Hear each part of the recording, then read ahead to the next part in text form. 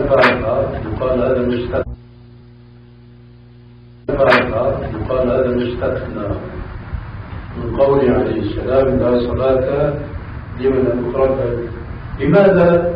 لأنه لا يستطيع أن يقرأ. إذا تقرأ فاعتمد يخالف الإمام. وقد أمرنا بمتابعة الإمام في قوله عليه السلام.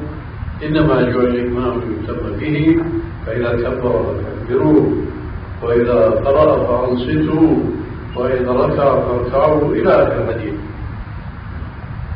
فكما استثني من مثل هذا الحديث وجعلنا صلاة من لم يقرأ فاتحة الكتاب صحيحة لأنه معذور كذلك الذي جاء. ولم يجد قراءة في الصف ينضم إليه فاقتدى وراء الإمام في الصف.